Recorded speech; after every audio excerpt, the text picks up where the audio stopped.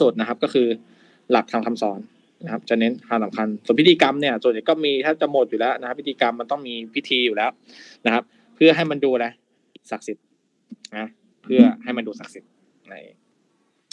เรามาดูเขาแบ่งศาสนานะครับ ออกเป็นเทวะอาเทวะนะครับ ดูผ่านๆได้เลยนะครับ ศาสนาเทวนิยมก็คือมีพระเจ้านะครับ มีพระเจ้านะมีพระเจ้า ซึ่งพระเจ้าเนี่ยนะครับ หน้าที่ของพระเจ้าหรือพระเจ้าเนี่ย ก็คือผู้สร้างส่วนใหญ่เป็นผู้สร้างนะผู้สร้างครับ จะสร้างอะไรบ้างอะ ก็สร้างโลกไงนะครับ สร้างสรรพสิ่งสรรพสิ่งต่างๆ นะครับ สร้างสรรพสิ่งต่างๆ นั่นเองนะสร้างโลกสร้างสรรพสิ่งต่างๆ นะครับมนุษย์มนุษย์สัตว์อะไรก็ว่าไปนะครับ แต่ว่าคาว่าเทวนิยมเนี่ยมันก็จะแบ่งออกเป็นเอกเนอะก็คือองค์เดียวนะครับคริสต์อิสลาม กับพหุก็คือเยอะหน่อยนะครับ หลายองค์นะพราหมณ์ฮินดูนะครับ กับอาเทวะนะครับ ก็คือสถานที่ไม่เชื่อในพระเจ้า ไม่เชื่อในพระเจ้านะครับ ซึ่งเขาเชื่อว่าสิ่งต่างๆ เกิดจากการกระทำของเราเอง หรือบางทีจะเป็นการกระทำจากอะไร ธรรมชาติก็ได้ เป็นธรรมชาติก็ได้ และก็มนุษย์เนี่ยนะครับ เช่นศาสนาพุทธอะไรแบบนี้นะครับ ส่วนข้างล่างมันก็เป็นพวกแบบพิธีกรรมต่างๆ นะครับ พิธีกรรมต่างๆ ของแต่ละศาสนาเป็นพิธี เป็นพิธี และก็จะเป็นเขาเรียกว่าสัญลักษณ์ของแต่ละศาสนา เดี๋ยวเข้ามาดูกันนะนะครับเบื้องต้นมาดูศาสนาพราหมณ์ฮินดูนะพราหมณ์ฮินดูเออนะคนปิดกล้องกันนะ อะไรเนี่ยนะศาสนาพราหมณ์ฮินดูนะครับศาสนาพราหมณ์ฮินดูเนี่ยนะครับ ก็เป็นศาสนาที่เก่าแก่สุดโลกนี่คือสัญลักษณ์เนี่ยเป็นรูปเนี่ยนะครับสัญลักษณ์ นะครับใช้เขาเรียกเครื่องหมายโอมนะครับศาสนาฮินดูนะครับ เกิดที่อินเดียนะครับหรือสมัยก่อนเรียกว่าชมโพรีเขาบอกไม่มีศาสดานะไม่มีศาสดา แต่แต่ถึงแม้ไม่มีศาสดาเนี่ย แต่มันมีเขาเรียกว่า คนที่แต่งตำรา คนที่แต่งตำรานะครับพวกถ้าเขาจะเรียกพวกฤาษีต่างๆนะก็เป็นฤาษีแต่งตำราต่างๆนะครับ แต่ก็มีแต่ชื่อนะครับ แต่เขาก็ไม่เรียกว่าศาสดานะครับเป็นคนแต่งหนังสือแต่งตำรา ซึ่งมีหลากหลายมีเยอะมากนะครับ แล้วก็เดิมเขาเรียกว่าอันเนี้ยสนาตนธรรมเนี่ยนะครับซึ่งแปลว่าศาสนาอันเป็นนิรันดร์นะครับนี่คือชื่อชื่อเดิมนะครับศาสนาอันเป็นนิรันดร์นะครับ ซึ่งคนที่คิดนะครับ ก็เป็นชาวอารยันชาวอารยันนะครับนะชาวอารยันก็เป็นชนชาติหนึ่งเมื่อก่อนอยู่ที่ เอเชียไมเนอร์เอเชียกลางนะครับ แล้วก็พวกแขกขาวอะเอาง่ายผิวขาวแขกขาวอะนะครับอารยัน ก็เอาความเชื่อของตนนะมาผสมผสานกับความเชื่อท้องถิ่นนะครับ เอามาผสมผสานกับชนพื้นเมืองนะครับผสานกันนะครับ ที่ตนนับถือพวกเทวดาพวกอะไรเงี้ยเทวดาของตนมามากับชนพื้นเมือง ซึ่งชนพื้นเมืองก็คือดาวิเดียของผิวดำนะคนผิวดำที่อยู่ด้านดูเป็นพระบุรุษที่อยู่ตรงนี้มาก่อนนะครับ คนผิวดำเป็นพวกเหมือนแบบคนผิวสีผิวดำตัวเล็ก ๆ ผมหยิกๆอะไรเงี้ยนะครับ ไม่ใช่ผิวดำแบบแอฟริกาอย่างนั้นนะครับ ก็มาผสมผสานกันจนเกิดเป็นศาสนาพราหมณ์นะตอนแรกเรียกพราหมณ์ก่อนฮินดูไปยุคหลังแล้วนะครับเดี๋ยวค่อยรวมกันเป็นพราหมณ์ฮินดู แต่ตอนแรกเป็นพราหมณ์ก่อนนะครับ ก็จะมาดูยุคของมันนะครับเป็นเขาให้แบ่งเป็นยุคต่างๆ แต่เราเราไม่ไม่เน้นเน้น ไม่ต้องเน้นมากว่าแบบยุคอะไรยุคอะไรดูผ่านๆนะครับยุคราการของพราหมณ์ฮินดูนะ มันก็จะมียุคพระเวท ยุคมหากาบยุคระบบทั้งหกศาสนาพราหมณ์กลายเป็นฮินดู เนี่ย เราเรียกยุครวมๆนี้ว่ายุคอารยันอารยัน กับยุคอารยันนั่นเองนะครับ ซึ่งมีตั้งแต่ยุคพระเวทนะเกิดเกิดก่อนพุทธกาลนะครับ มีคัมภีพระเวทเกิดขึ้นนะครับ ซึ่งสมัยก่อนเนี่ยนะครับเขาจะถือพวกพระอินทร์ เอาถือพระอินทร์พระอินทร์ผู้สร้างนะครับ นับถือพยมพระอินทร์พยม อืมพยมก็แบบเทพแห่งความตายนะเทพแห่งความตายนะครับ แล้วก็จะนับถือพระวรุณพระวรุณก็คือเทพแห่งน้ำอะนะครับ น้ำมหาสมุทรทะเลก็ว่าไปนะครับ มีอะไรกันมีพระสาวิตรี นะเทพแห่งแสงแสงสว่างอะไรก็ว่าไปนะอันนี้ไม่ได้เน้นอะไรที่พูดเกินๆนะเป็นยุคสมัยก่อนพุทธกาลอีกนะครับ เป็นนับร้อยนับพันปีนะครับ ยุคมหากาบก็มีนับยุคมหากาบก็มี แล้วก็ยุคที่พระรามกลายเป็นศาสนาฮินดูนะเป็นยุคคัมภีร์นี้ ซึ่งเป็นคัมภีร์ที่มนุษย์และมนุษย์สร้างแล้วนะครับ ไม่ใช่พระเจ้าสร้างแล้วนะครับ เป็นคัมภีร์นั่นเองครับ ก็ไม่ได้เน้นอะไรมากนะครับ นะครับ ยุคอารยันก่อนอ่าอันที่สองนะครับ เป็นยุค ยุคอารยัน เป็นยุคพระเวทนะครับ ยุคพระเวทก็เป็นนับถือเทพหลายองค์ เทพหลายองค์นะครับ แต่ก็ยังอยู่นะเห็นไหมยกย่องพระอินทร์พระวรุณพระคณีเทพไฟก็ยังนับนับถืออยู่นะครับ ก็นับถือเทพหลายองค์ ซึ่งยุคเนี้ยน่าจะเป็นยุคที่มีเริ่มมีระบบวันนะเกิดขึ้น ซึ่งวันนะมันมาจากอะไรวันนะมันมาจากมันมาจากคนเนี่ยมีผิวสีที่ต่างกัน เขาก็เลยแบบ เขาก็เลยแบบเออแบ่งชนชั้นกันนะชนชั้นกันนั่นเองนะครับ แล้วก็มียุคอะไร ยุคปลายพระเวทเนี่ย ยุคปลายพระเวทก็เหมือนแบบ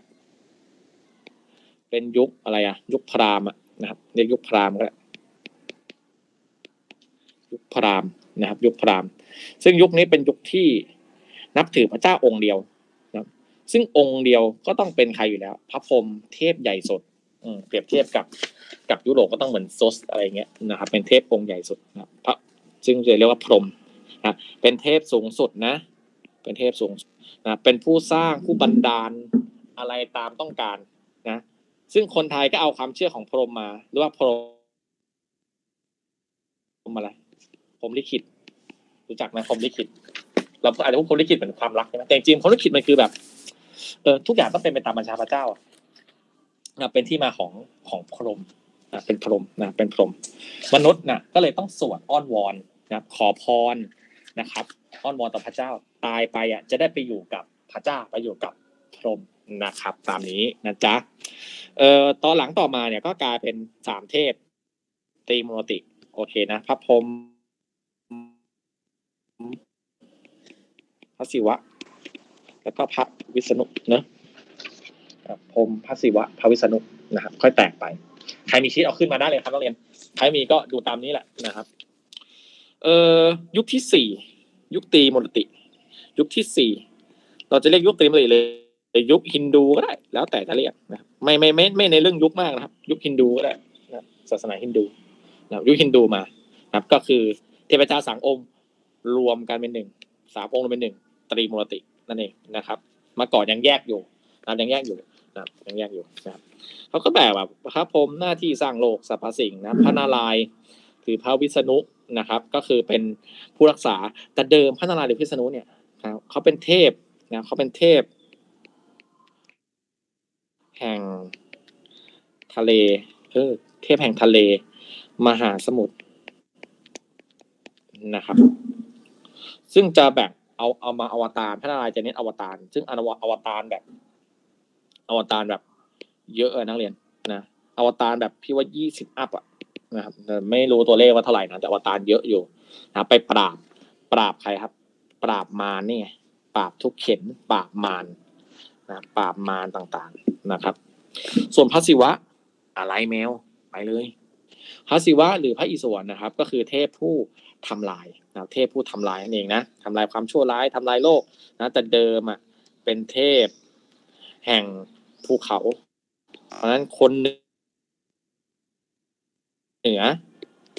คนเหนือนะครับ ที่อยู่ติดกับภูเขา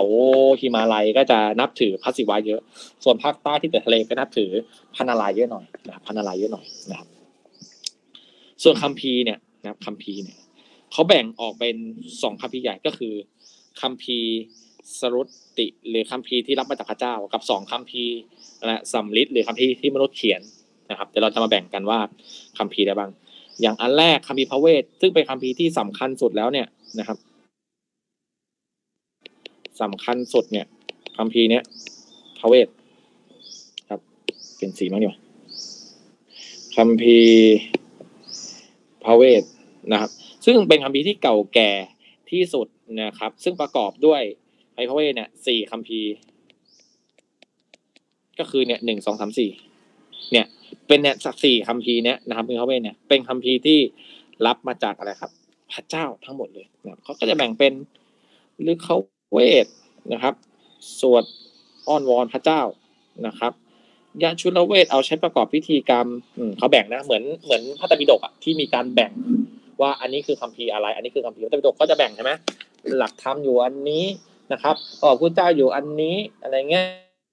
หลักธรรมส่งล้นๆอยู่อันนี้เขาก็จะแบ่งกันไปนะครับ แต่ละคัมภีร์นะครับสามเวทก็คือพวกนะครับลดลงบทสวดมนต์ต่างๆนะครับ ถวายอะไรเนี่ย ถวายน้ำโสมแด่พระอินทร์และเทพอื่นๆนะครับ เขาจะก็จะแบ่งไป อาถรรพ์เวทเป็นคัมภีร์หลังสุดนะครับ เรื่องเกี่ยวกับไสยศาสตร์อาคมเวทมนต์ไสยศาสตร์ ซึ่งบางคนก็ไม่เชื่อในคัมภีร์นี้นะเพราะว่าเป็นคัมภีร์ที่แต่งขึ้นที่หลัง แต่งขึ้นที่หลังสุดนะครับ นะครับมันมีอีกที่หายไปคือมันมีคัมภีร์ที่ชื่อว่าคัมภีร์ไตรเวทนะครับแต่อันนี้ไม่ต้องสนใจนะครับ อันเนี้ยควรจะต้องเน้นที่สุดก็คือคัมภีร์เนี้ยพระควัตถีตานะครับเอาข้อสอบอยู่บ้างนะพระควัตถีตานะครับ อันเนี้ยเป็นคัมภีร์ที่แบบมนุษย์นะมนุษย์สร้าง นะมนุษย์สร้างขึ้นนะครับ ซึ่งเป็นคัมภีที่มีอยู่ในมหาภารตะมหาภารตะ ซึ่งเป็นคัมภีที่แบบยาวที่สุดในโลกนะครับยาวที่สุดในโลกนะครับ มหาภารตะยุทธเขาบอกว่าเป็นเรื่องราวลบระหว่างตระกูลสองตระกูลนะครับ ตระกูลอะไรเกาลบกับตระกูลปานทบอะไรทั้งอย่างเนี่ยนะครับ เป็นสองตระกูลที่รบกัน และเป็นบทสนทนาเนี่ยนะครับ อันเนี้ยมีสองตระกูลรบกันนะ แต่บทสนทนาเนี้ย นะพระอรชุนกับพระกิษณะเนี่ยนะครับเขาเขาพูดกัน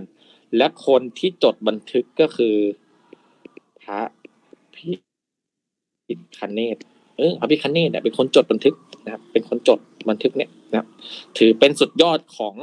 ปราชญาฮินดู สาเหตุที่เป็นสุดยอดเลยเพราะพูดถึงเรื่องการหลุดพ้นเป็นหลักธรรมสำคัญมาก ๆ ของศาสนาพราหมณ์ฮินดู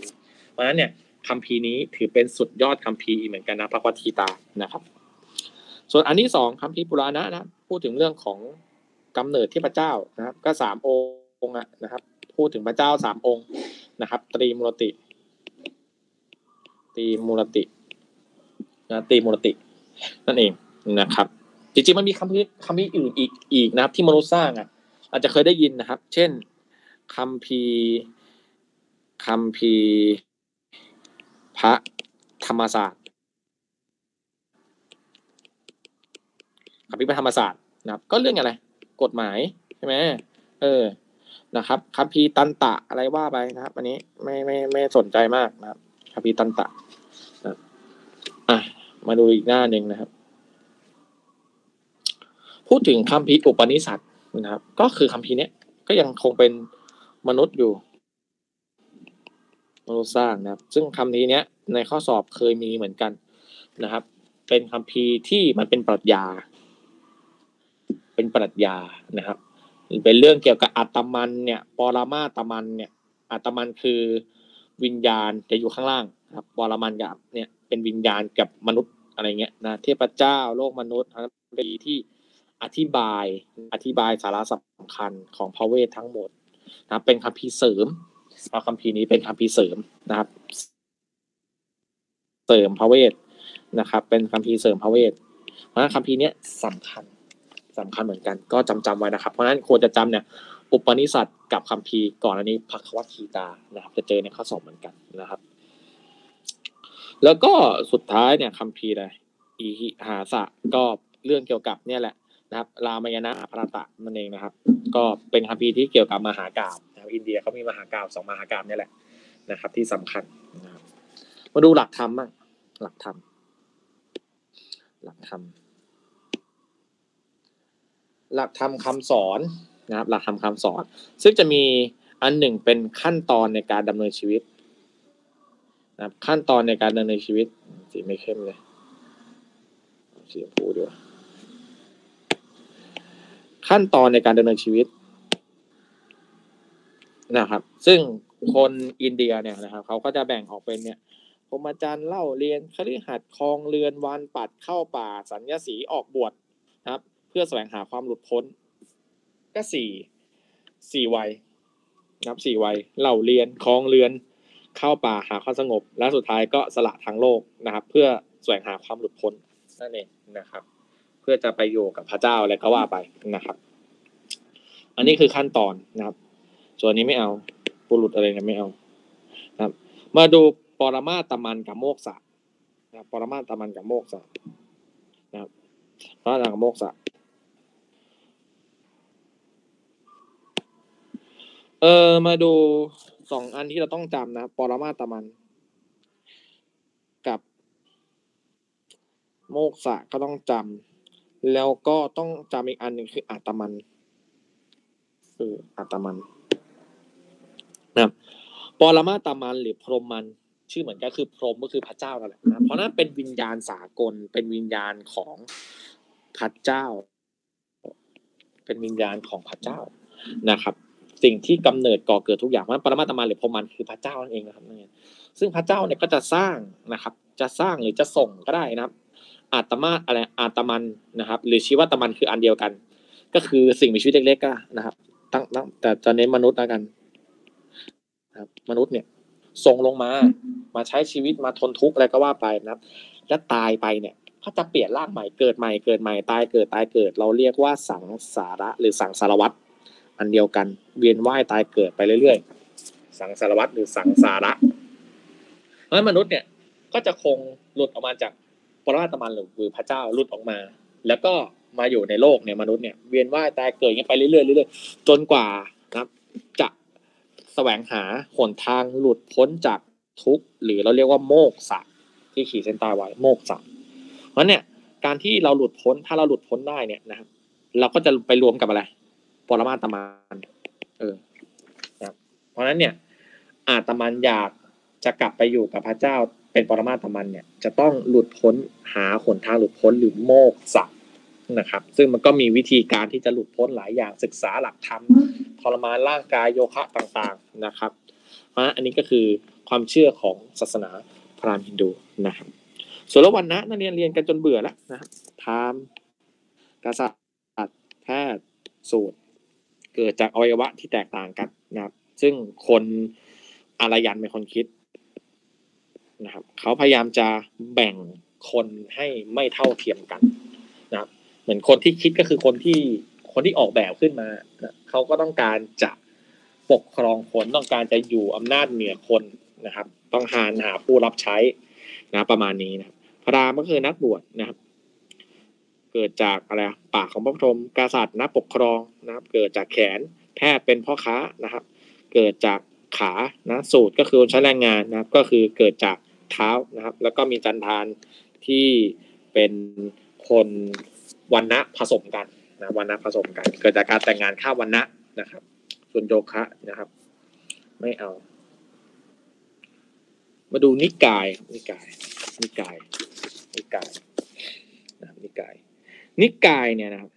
มีหลักๆนะครับ หลักๆนิกาย นิกายพรมจะบอกนิกายพรมจริง ๆ เนี่ยเขาไม่นิยมนะเนี่ย มีพระเจ้านะ มีพระเจ้ามีพระพรมจริงเป็นพระเจ้าสูงสุดเลย เก่าแก่สุดเลย แต่มันไม่ค่อยมีบูชาพระพรมอะนะครับ ไม่ค่อยนิยมอะนะครับ บางทีก็อาจจะเรียกว่าไม่มีนิกายพรมก็ได้นะครับแต่ที่จะเน้นนะครับ ก็คือนิกายของ ระนารายณ์หรือไวยสนพกับพระศิวะก็คือคัมภีร์เอ้พระอิศวรเนี่ยนะครับ ก็คือนิกายสองอันเนี้ยจะมีคนนับถือมากกว่านะครับ นับถือมากกว่า ก็ตามชื่อเลยนะครับไวยสนพก็ของพระนารายณ์นะครับ แล้วก็คัมภีร์พระศิวะนะครับ บูชาศิวลึงนะครับ อันนี้ไม่ได้ทะลึ่งตึงตังนะครับ ศิวลึงมันเป็นสัญลัก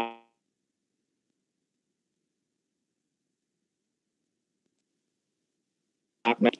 ชีวิตนะครับจะให้ชีวิต เพราะฉะนั้นคนสมัยก่อนเนี่ยเขาก็จะบูชาศิวลึงกันนะครับเป็นรูปอวัยวะเพศชายถือเป็นต้นกำเนิดแห่งชีวิตนะเพราะเพศชายถือเป็นผู้สร้างสรรพสิ่งในโลกนะครับอันนี้เขาเป็นความเชื่อนะครับ แล้วก็นอกจากนั้นยังมีนิกายที่นับถือพระชายา หรือเราเรียกว่านิกายสักตินะครับ นับถือภรรยาของของเทพเจ้าต่างๆ อย่างเช่น พระอุมานะพระอุมา นะครับ ก็คือพระชายาของพระศิวะ เป็นชายาพระศิวะนะเราจะเรียกกันว่าพระแม่กาลี พระแม่กาลีเนี่ยมันเหมือนร่างอวตารนะครับ เป็นร่างอวตารเนอะร่างอวตารของพระอุมา เออนะครับ ที่ที่อยู่ในอวีด้วยนั่นแหละอันนั้นแหละพระแม่กาลีนะครับ หรืออีกชื่อหนึ่งนะครับ จะเรียกพระแม่ทุลคาก็ได้ ก็คือเป็นร่างอวตารเหมือนกันนะต่อไปนะครับ องค์ที่สองคือพระลักษมี พระลักษมีเป็นเป็นชายาของนารายณ์และพระสุรสวดีฮะชื่อกรมที่กรมในสมัยกรุงศรีอยุธยาใช่ไหมที่จดบัญชีไพ่พลใช่ไหมครับบัญชีไพ่พลกรมสวัสดีนะเป็นพระชายาของพระพรหมนะครับ ซึ่งมันก็จะมีแบบเขาเรียกว่าอะไรอะเป็นเทพนะครับ อย่างพระอุมาเนี่ยเป็นเทพแห่งการทำลายล้าง อย่างเงี้ยนะพระศิวะก็ทำลายนะภรรยาก็ทำลายด้วยนะครับ ก็คือเทพพารายเทพที่ดุร้ายนะพระนาการี ส่วนพระลักษมีพระนารายณ์ก็เป็นเทพแห่งความร่ำรวยนะร่ำรวย โชคลาภแล้วแต่นะก็จะไปไปไปนับถืออันนี้ แล้วก็พระสุรสดีเป็นเทพแห่งปัญญาเป็นเทพแห่งปัญญานะวิทยาการนะครับ อย่างใครเรียกอักษรอักษรเนี่ยนั่นแหละนะครับอักษรศาสตร์หรืออะไรเงี้ยต้องเป็นสุรสดีนะครับต้องเป็นพวกนี้นะครับต่อไปพิธีกรรม พิธีกรรม พิธีกรรม อาสีเหลืองมั่งพิธีกรรมสีเหลืองมันไม่จีนเลย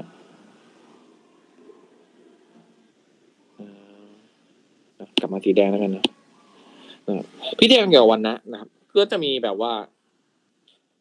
การประกอบอาชีพ มีอาหาร มีที่อยู่อาศัย มีการแต่งงานขยายความนิดนึง ขยายความนิดนึงนะจะบอกว่าการประกอบอาชีพเนี่ย มันก็ไม่ได้ทุกวันนะนะ มันก็มีเฉพาะนะ มีเฉพาะของวันนะใดวันนะนั้นนะครับ มันคือเขาเหมือนคนอินเดียเขาจะแบบว่า ถ้าคุณอยู่วันนั้นเนี่ย คุณต้องประกอบอาชีพเนี่ย คุณจะมาก้าวข้ามเป็นแบบ ประกอบอาชีพข้ามวันนั้นไม่ได้อะเพราะเขาจะเฉพาะไว้กับวันนั้นวันนั้นเนี่ย ก็คือเป็นการแบบแบ่งชนชั้นกันเลยนะครับ การทำอาหารเนี่ย ก็จะแบบ คือถ้าคุณเป็นวันนพรามเนี่ย คุณก็จะแบบ ให้โควันนอื่นมาทำอาหารให้ไม่ได้เอาคนที่วันนต่ำกว่าตัวเองอะมาประกอบอาหารให้ไม่ได้นะครับ ต้องเป็นวันะเดียวกันสมมติพี่เป็นพราหมณ์เนี่ยแล้วเราเป็นกษัตริย์อย่างเงี้ย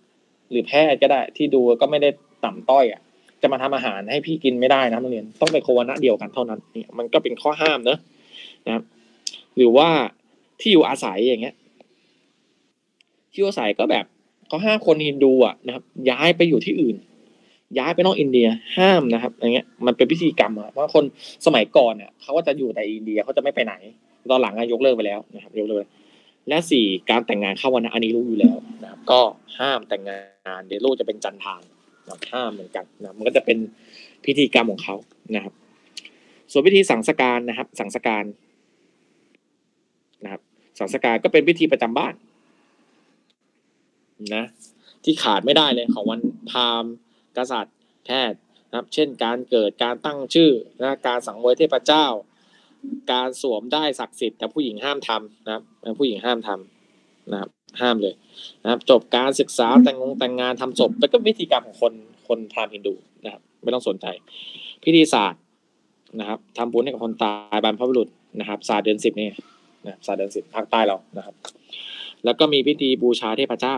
นะบูชาเทพเจ้า ซึ่งการบูชาเทพเนี่ย ก็ต้องตามวันนะอีกเหมือนเหมือนออกจะออกแบบเหยียดเหยียดๆเยอะเนอะนะครับ แต่ไม่ได้บูลลี่นะครับไม่ได้บูลลี่นะแต่เป็นสมัยก่อนเป็นแบบนี้สมัยนี้ปัจจุบันเนี่ยต้องบอกว่ามันน้อยลงไปเยอะแล้วนะครับ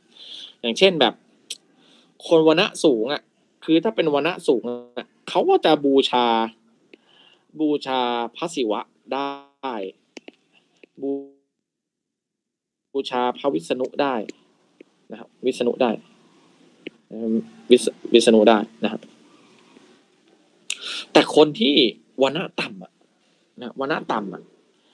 ถ้าวันณะต่ำหน่อยอะ ก็จะบูชาได้แต่แบบ คนที่ไม่ใช่พระศิวะพระวิษณุอะเช่นแบบบูชาเจ้าแม่กาลีเงี้ย เออ บูชาเจ้าแม่กาลี เออ เงี้ยบูชาได้ บูชาเทพต่างๆ เป็นสัตว์อะลิงมั่งเต่าบ้าง ช้างมั่งนะครับ บูชาแบบ ลูกเทพเลยเหมือนเทพต้นไม้บูชาอะไรเงี้ยก็คือจะบูชาแบบพระเจ้าไม่ได้อะนะครับ เพราะนั้นเนี่ย ถ้าวันนะนะวันนะที่ทึ่งต่ำเนี่ย ในเนี้ยน่าจะพวกพวกสูตรพวกจันทานนะครับน่าเป็นแบบนี้ตะเคียนตะคู่นะฮัลโหลแบงค์ฮัลโหลครับจ้าไม่เป็นไรเอาครับเอาเอาบางส่วน เออได้ได้เอาบางส่วนก่อนแล้วกันจ้าแบงค์เอาบางส่วนก่อน อ้ไม่เอาเอาสี่เมตรดีกว่าเดี๋ยวรอได้ไม่เป็นไรเอาบางส่วนมาก่อนก็ได้จ้าแบงค์เอาบางส่วนมาก่อนเนอะ thank you น้องพี่เดี๋ยวจ้าจ้าจ้าขอบคุณครับสวัสดีครับอะต่อนะครับ อันนี้คือศาสนาพราหมณ์ฮินดูนะครับเดี๋ยววันนี้มาดูต่อศาสนาคริสต์ก็ไม่เน้นมากนะ คือสอนแบบไม่ได้ละเอียดยิบจัดอะเหมือนในหนังสือเรียนนะครับ แต่ว่าให้ให้พอรู้บ้าง ให้พอรู้นะครับที่บอกแล้วชีตแบบกำลังดีไม่ไม่ไม่ไม่เยอะไปนะครับ ถ้าเป็นหนังสือเรียนโอ้โหสอนกันตายเลยนะครับศาสนาหนึ่งก็ สิบหน้าสิบกว่าหน้าอย่างเงี้ยไม่ไม่ไหวนะครับเอามาดูศาสนาคริสต์นะครับต้องเรียนเนี่ยตอนนี้นักเรียนมหกแล้วนักเรียนต้องต้องเร่งอ่านอยู่นะพวกย่อๆพวกอะไรอย่างเงี้ยพวกข้อสอบพวกย่อๆหน่อยนะครับเดี๋ยวถ้าเนื้อหาอาจจะต้องรอบเดียวแล้วนะครับเอ่อในรูปเนี้ยเป็นโมเสสนะครับ ก็จะมีโมเสสนะครับ กับพระเยซูนะครับ อืม โมเสสนะครับ ก็เป็นศาสดาของสายยูดายนะครับอพยพชาวยิวนะครับ แล้วก็ มาสู่ดินแดนคานาอันเป็นดินแดนศักดิ์สิทธิ์เป็นดินแดนที่เขาเชื่อว่าพระเจ้าประทานที่ดินเนี้ยให้กับคนยิวอยู่นะครับ ปัจจุบันก็คือปาเลสไตน์ที่อิสราเอลนะครับ ซึ่งเมื่อก่อนดินแดนตรงเนี้ยคานาอันน่ะเป็นที่อยู่คนปาเลสไตน์แล้วตอนหลังคนยิวก็ไปแย่ง ไปแย่งที่อยู่ตามพันธสัญญานะสุดท้ายก็ลบกันเนี่ยตอนเนี้ยใช่ไหมเยรูเอ้ยเยรูซาเล็มโทษทีอิสราเอลกับ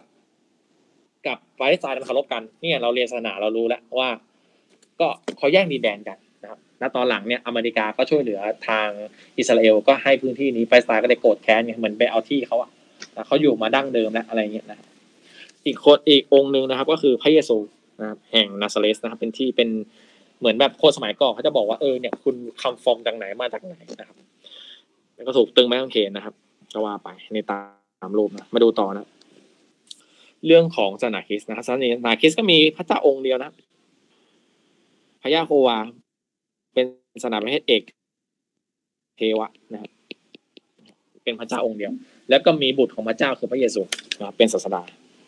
นะพระเยซูเป็นศาสดานะครับ มีรากฐานมาจากศาสนายิวหรือยูดายเนี่ยครับมีรากฐานมาศาสนายิวหรือยูดายครับ ซึ่งศาสนายิวในยูดายเนี่ยที่บอกว่าเขาเชื่อว่าพระเจ้ามอบดินแดนคานาอันนะคานาอัน ให้กับอับราฮัมก็คือเหมือนเป็นอับราฮัมเหมือนเป็นผู้นำของคนยิว นะเป็นอับราฮัมเป็นบิดาของชาวยิวเป็นผู้นำของคนยิวนะครับ ชาวยิวจึงถือว่าเนี่ยเป็นพันธสัญญาที่พระเจ้าเนี่ยมอบให้กับตนนะเพราะนั้นเนี่ยเขาอยู่ด้วยความหวังความเชื่อนะคนยิว เพราะคนยิวเมื่อก่อนเนี่ยลำบาก คนยิวเป็นเป็นหนึ่งในชนชาติที่เล่ร่อนน่ะ เรียกว่าคนยิวเนี่ยเล่ร่อนน่ะเล่ร่อน แล้วก็เลี้ยงสัตว์อะไปเรื่อยอะถ้าไปดูวันดีข้าวดีครับ เล่ร่อนไปเรื่อยไม่ได้อยู่เป็นหลักเป็นหลักนะครับและสุดท้ายจะมีจำนวนประชากรจำนวนมหาศาลเป็นเป็นแสนคนนะเยอะ แล้วตอนหลังก็ถูกกวาดต้อนไปใช้แรงงานโดยคนอียิปต์นะครับ ก็ถูกอียิปต์เนี่ยเข้าลุกลานยีอิปต์นะอียิปต์นะลุกลานแล้วก็กวาดต้อนไปสร้างอะไรครับ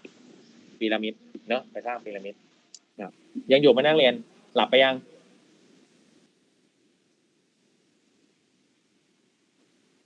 ฮัลโหล ฮัลโหลครับ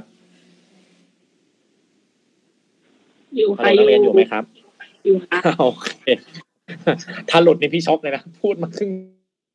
ชั่วโมงนะครับต้องเรียน อะ ต่อฟังเพลินๆนะฟังเพลินๆ เอ่อ ต่อมานะครับ ต่อนะชาวยูต่อนะ ต่อมาชาวยูเนี่ยก็มีผู้นำชื่อโมเสสซึ่งโมเสสเนี่ย ตามพระคัมภีร์เนี่ย ก็ได้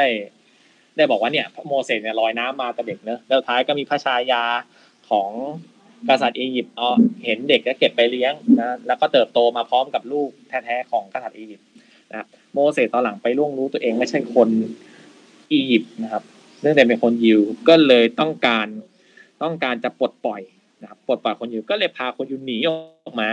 ตามหนังตามซีรีส์เลยที่ดูกันนะครับนะพาหนีออกมา สุดท้ายก็ข้ามนะครับ ข้ามทะเลข้ามทะเลแดงกลับไปยังดินแดนคันอัน ซึ่งเป็นความเชื่อ ว่าดินแดนเนี่ยพระเจ้าเนี่ยประทานให้ฉันเนี่ยดินแดนเนี่ยนะครับเพราะนั้นโมเสสก็ถือเป็นศาสดาของคนยิวและก็รับบัญญัติสิบประการ ซึ่งเป็นซึ่งเป็นเขาเรียกว่าสารจากพระเจ้าเป็นคำสอนจากพระเจ้านะครับ จากพระเจ้านะขึ้นบนภูเขาซีนายนะครับ อืมถ้าเป็นศาสนาอิสลามจะเป็นภูเขาชื่อว่าฮีรอนะครับ ถ้าเป็นอิสลามจะเป็นภูเขานี้ แต่ถ้าเป็นคนคริสจะเป็นซีนายนะครับเพราะฉะนั้นเนี่ย ก็โมเสสก็ก็เลยก็เลยเอาคำสอนเนี่ยมาสอนนะครับ และรวมอยู่ในคัมภีร์ด้วย เราเรียกคัมภีร์เก่านะคัมภีร์โทราคัมภีร์เก่านะครับ มีชื่อด้วยนะมีหลายคัมภีร์นะสามคัมภีร์มั้งนะครับ แล้วก็ชาวยูเชื่อว่าพระเจ้าส่งพระเมสสิอาเนี่ยนะครับพระเมสสิอาเนี่ยนะมาปลดเปื้องทุกนะครับ ลงมายังโลกมาไถ่บาปให้มนุษย์ ซึ่งชาวยูบางส่วนเชื่อก็คือพระเยซูนั่นเอง แต่บางส่วนก็ไม่เชื่อ เพราะนั้นชาวยูบางคนไม่โอเคกับพระเยซูบางคนก็อะโอเคหรือเฉยๆก็ว่าไปนะครับอะมาดูต่อนะพระเยซูนะกลับมาจบโมเสสก่อนนะพระเยซูประสูติวันที่สิบห้าธันวาคมนะเบธเลเฮมแคว้นกาลิลีนะครับแถวเอเชียนะครับเอมันกึ่งกึ่งเอเชียกึ่งแอฟริกาตรงนั้น เป็นบุตรของโจเซฟและมาเรีย ซึ่งต้องอธิบายก่อนว่า คือพระแม่มาเรียเนี่ยกับโจเซฟเนี่ยเขาเป็นพ่อกับแม่เนอะพระเยซูเขาหมั้นเขามั่นกัน แต่เขายังไม่ได้แบบเขาเรียกว่าอะไรนะบาบากันอะยังไม่ได้อะไรกันอะนะครับ ซึ่งและอยู่ดีเขายังไม่ได้ แตะต้องเนื้อต้องตัวอะไรกันเลย ยังไม่เคยมีอะไรกันเลยแต่อยู่ดีพระแม่มาเรีย ท้องเซ็กก็งงดีครับเฮ้ย ได้ได้วยหรอนะท้องเฉยเลยนะครับ อืม ไม่ได้ท้องทิพย์นะนี่คือท้องจริงนะและโจเซฟก็ไม่โอเคอะโจเซฟแบบเฮ้ยไม่โอเคนะอะไรเงี้ย ก็เลยแบบว่าอยู่ดีดีๆวันหนึ่งก็มีแบบเหมือนทูตสวรรค์น่ะ มาเข้าฝันโจเซฟอะ แล้วก็บอกว่าเออเนี่ย โจเซฟนะครับกรุณาอย่าโกรธมาเรียเลยนะครับ แล้วก็ให้เลี้ยง เลี้ยงบุตรเนี่ยก็คือพระเยซูเนี่ยนะครับ พระเยซูให้เลี้ยงบุตรคนนี้พระบุตรคนนี้เป็นบุตรของพระเจ้า พระเยซูเนี่ยนะครับ พระเจ้าประทานมาเนี่ยนะให้มาเกิดในท้องหญิงพรหมจรรย์นะคือพระแม่มาเรียให้เลี้ยงบุตรคนนี้นะอย่าทิ้งอย่าคว้างนะ ให้ดี เพราะฉะนั้นเนี่ยนะครับโจเซฟก็เลยโอเคละจากตอนแรกรู้สึกไม่โอเค ก็อะเลี้ยงพระเยซูมานะครับเลี้ยงพระเยซูมานะครับกับแม่เนี่ยก็ยังอยู่เป็นแม่ต่อไปนะเป็นแม่ต่อไปโอ้ยยุงเยอะจังวะเออ ซึ่งต่อมาเนี่ยโอเค พระเยซูก็เติบโตขึ้นมานะครับเติบโตเป็นคนยิวนะพอเป็นคนยิวตัวเองก็ต้องสนใจในศาสนายูดาห์อยู่แล้วนะครับศาสนายูดาห์และสุดท้ายก็ได้รับสินจุ่มจากจอห์นนะครับนักบวชจอห์นนะครับตอนนั้นเป็นศาสนายิวหรือยูดาห์นะครับตอนนั้นนะเป็นยิวยูดาห์นะนะครับที่แม่น้ำจอร์แดนนะครับพระเยซูก็เริ่มประกาศศาสนาแล้วนะประกาศศาสนานะครับศาสนาเทศนาบนภูเขาปฐมศาสนา ตอนหลังอะพระเยซูก็ไปเจอพระเจ้าไงนะครับ แล้วก็เอาคำสอนพระเจ้ามาอาแดปมารวมยิวมั่งของตัวเองคิดมั่งจากพระเจ้าอะไรก็ว่าไปนะเป็นศาสนาคริสต์เป็นศาสนาคริสต์นั่นเองนะซึ่งถามว่าศาสนาคริสต์เนี่ยมันก็มีคนนับถือเยอะ และบางส่วนก็ถูกต่อต้านเหมือนกันถูกต่อต้านเหมือนกันเพราะไปขัดผลประโยชน์ของศาสนาอื่น ขัดผลประโยชน์ของพ่อค้าอื่น ๆ ขัดผลประโยชน์กับกษัตริย์กับอาณาจักรอะไรเงี้ย ขัดผลประโยชน์กับหลายๆคนคือคำสอนของเขานะครับคนก็รักเชื่อพระเยซูแล้วก็ละเลยศาสนาอื่นๆพ่อค้ากษัตริย์อาณาจักรเพราะฉะนั้นพระเยซูก็คือศัตรูเยอะเอาง่ายศัตรูเยอะ และสุดท้ายก็ถูกจับ และก็ถูกข้อหากบฏตรึงไม้กางเขน สิ้นพระชนนะครับ เมีอายุได้สาสิบสาม ตอนเผยแพร่ศาสนาตอนอายุสามสิบนะแต่ว่าสามปีเอง เผยแพร่ศาสนาแค่แค่สามปีสามปีนะครับ อะไรคนชิเกะโทรมาจะพูดนั่นเองตัดไปก่อนนะอ้าว หน้าจอแบบนะ หน้าจอหายโทรศัพท์อะไม่เล่นเห็นหน้าจอไหมครับเห็นเนอะอ่าโอเคต่อนะโทษทีเมื่อกี้สายเข้ามาอะก็จบนะพระเยซูนะพระเยซูก็ถูกตึงไม้กางเขนนะครับ หลังจากถูกตรึงไม้กางเขนเนี่ยนะครับเราก็เลยเรียกว่าวันที่พระเยซูสิ้นชนม์ว่าวันศุกร์ศักดิ์สิทธิ์ Good Friday ศุกร์สิบสามนะครับ เพราะฉะนั้นเนี่ยวันเนี้ยถือเป็น Good Friday คือวันที่พระเยซูสิ้นพระชนม์นะครับ แต่หลังจากสิ้นพระชนม์ได้สามวันนะ สิ้นพระชนม์ได้สามวันนะพระเยซูก็ฟื้นคืนชีพนะฟื้นคืนชีพ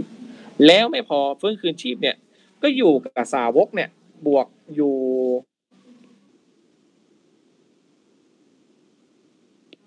อีกค่อยขึ้นสวรรค์เราเรียกคนเขาก็เลยเขาเรียกว่าอะไรอะเฉลิมฉลองวันเนี้ย เราเรียกว่าวันอีสเตอร์ คือวันที่พระเยซูท่านฟื้น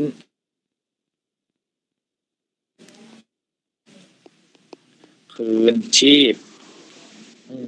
นะครับศาสนาพุทธก็มีนะครับพระพุทธเจ้าเสด็จจากสวรรค์ชั้นดาวดึงใช่ไหมครับ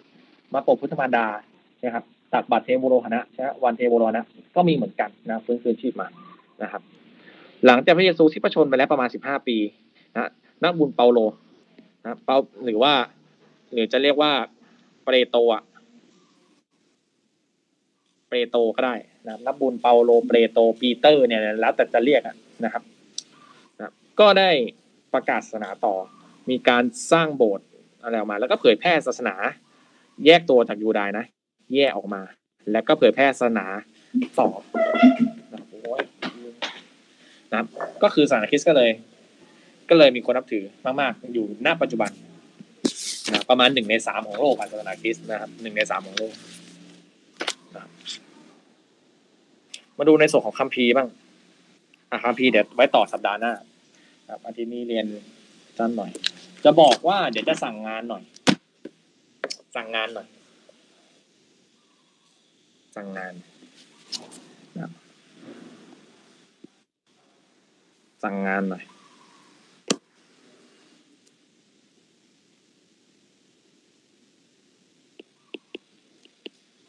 เนอะว่างใช่ปะช่วงนี้ ใช่ไหมครับ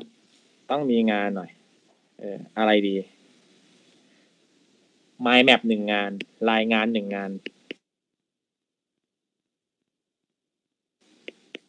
หนึ่งงาน แล้วก็ mind map หนึ่งงานนะครับ เตรียมทำไว้ก่อนเลยนะครับไปหาข้อมูลมาก่อนเลยนะครับ เดี๋ยวพี่ให้ครูดาวสอนอีกทีหนึ่งว่าจะต้องส่งในรูปแบบไหน ส่งในเมล ส่งในอะไร เดี๋ยวบอกอีกทีหนึ่งแต่ว่า ไปหาข้อมูลมาก่อนเลยนะครับ เดี๋ยววันอาทิตย์หน้าจะมาแจ้งนะครับ ซึ่งรายงาน ตอนนี้เราเรียนทั้งสังคมและประวัติศาสตร์นะครับ สังคมและประวัติศาสตร์เอามาเหมือนกันจะได้ไม่งงนะครับ รายงานของวิชาประวัติศาสตร์ และ mind map ของวิชา สังคมหรือศาสนานะครับอืม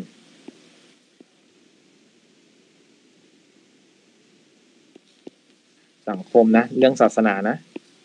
ศาสนา พี่เอาพุทธแล้วกันนะครับ ไม่เอาศาสนาอื่นนะเพราะออกศาสนาพุทธเยอะ จะให้เน้น อืม เปลี่ยนใหม่ดีกว่า เอา รายงานของสังคมดีกว่า ศาสนาดีกว่า และ mind map เป็นของวิชา ประวัติศาสตร์นะครับประวัติศาสตร์นะครับประวัติศาสตร์คุณจะทำประวัติศาสตร์ไทย หรือประวัติศาสตร์ตะวันตกก็ได้นะครับแล้วแต่นะครับแล้วแต่ เออกี่หน้าดี ครับ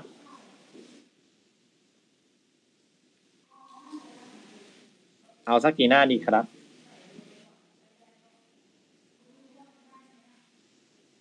ฮัลโหลเรียนอยู่ไม่เอ่ย เออ นักเรียน ถ้าไม่บอกแต่พี่สั่งเลย รายงาน รายงานเบื้องต้นน่ะเอาสักสิบพอสิบหน้าสิบเพจแล้วสวัสดีครับสวัสดีครับ และในส่วน mind map มันต้องหนึ่งแผ่นอยู่แล้วหนึ่งแผ่นใหญ่อยู่แล้วนะไปหาข้อมูลมาก่อน ดูว่าเราจะทำเรื่องอะไรก่อน เดี๋ยววิธีส่งแบบไหนอะไรยังไง เดี๋ยว เดี๋ยวพี่แจ้งอีกทีนึง นะครับ อะโอเค วันนี้พอนี้ก่อนนะครับต้องเรียน